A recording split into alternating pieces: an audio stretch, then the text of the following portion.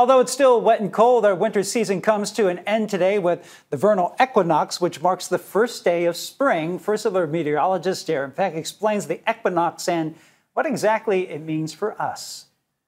Okay, if we want to understand an equinox, let's bring in the sun, which, by the way, rotates every 30 days on its own. You can see the sunspots on there. I just thought that was an interesting little item to throw in here. But let's get back to the equinox. We'll bring in planet Earth.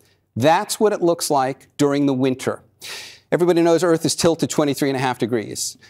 That tilt obviously never changes, but our location around the sun does. So when we're at this point in our trip around the sun, the northern hemisphere is tilted away because of that tilt, which never changes. So the most direct rays of the sun are coming in right at the southern hemisphere. They're hitting us at the Tropic of Capricorn. That's summer in the southern hemisphere. It's winter for us. But right now, we're at the equinox. Why do we call it an equinox?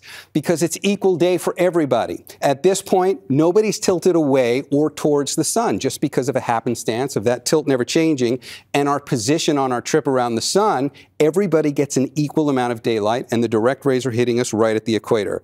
That's the vernal equinox. We also do it in autumn. Here's how it looks in summer, just to kind of complete the story here. Northern hemisphere there pointed directly at the sun. So at this point now, the most direct rays of the sun are coming across and they're hitting the planet now in the northern hemisphere at the Tropic of Cancer, and here we come.